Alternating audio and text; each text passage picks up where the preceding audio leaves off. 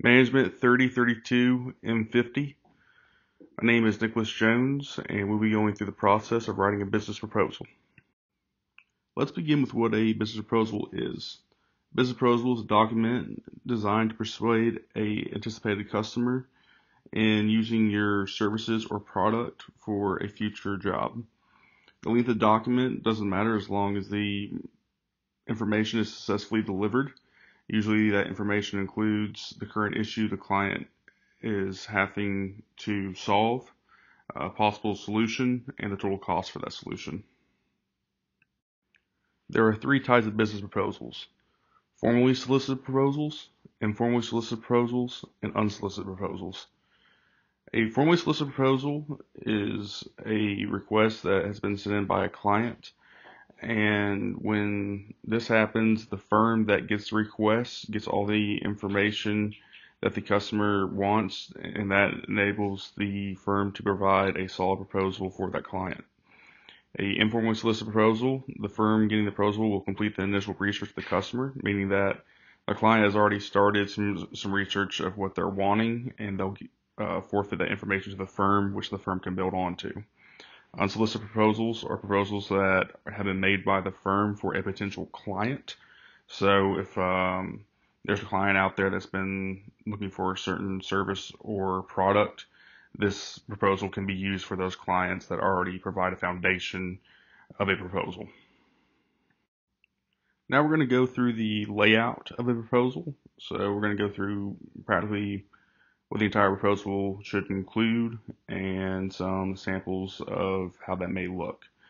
Uh, your first page should be the title page, which should include the writer's name, the company's name, and the company logo, together with the contact information and the client's name. Um, all these being present gives an easy platform to follow to have all the information needed of the company and the customer itself. Next, we should include the table of contents, which provides a summary of each page or section of the document. So usually we want to use one or two words that sums up what is going to be on that page. The reasoning of a table of contents is to help the client to find where certain information is within the document we want to keep the table content short and sweet for the average human uh, attention span is about 10 seconds. So we don't want to bombard them with a tons of information. The and if the table contents or the document itself is on the uh, computer or in a uh, e file the table contents should be able to be clicked on so it instantly brings you to that page. After the table of contents comes the executive summary which is a high level oversight of the company. The executive summary is a chance to talk about your business, uh, the particular gains the client can expect from your services or products provided. You can also go into some of your achievements that um, you have achieved throughout your business career. Overall, it's just a summary of your business just to help convince the client that you provide the best solutions to their problems. Talking about solutions and problems actually leads us to our next slide. This is where we want to clearly point out the problem to the client so they can visualize a representation of it throughout our proposal. We also want to point out other issues that the client may not be aware of. So if we discover there's other problems on top of the problem that they originally came to us with, this is a good time to tell them about that, which will give you more business opportunities and also just show them that you're willing to give a little bit more information that they originally didn't even ask for.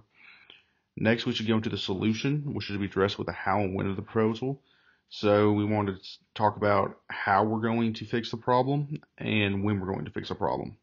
A good way to show this is through a timeline, which shows our strategy all, all, all laid out. So it gives the client an idea of when we're going to do certain parts of the job and when the job should be finished.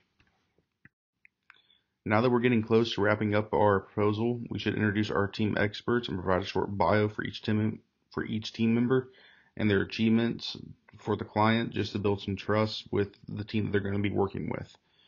About us page is also recommended for it's helpful for sharing a story behind the company You can also share some of the achievements and other jobs that you've done, showing the professionalism of your business. It's also wise to create a pricing table that shows the pricing for various products and services. So the client has the opportunity to look through all services offered or products offered, and they can narrow down what they need and what they don't. Lastly comes the finalizing of the proposal.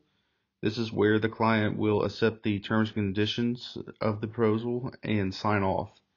Terms and conditions usually include an outline of what you and the party has agreed on and includes payments, dates, timelines, etc.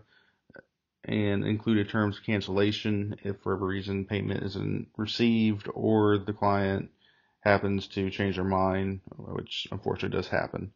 The firm's legal team members should also look over this proposal to make sure that everything looks correct and there's no legal um, roadblocks that we that we could possibly be getting in.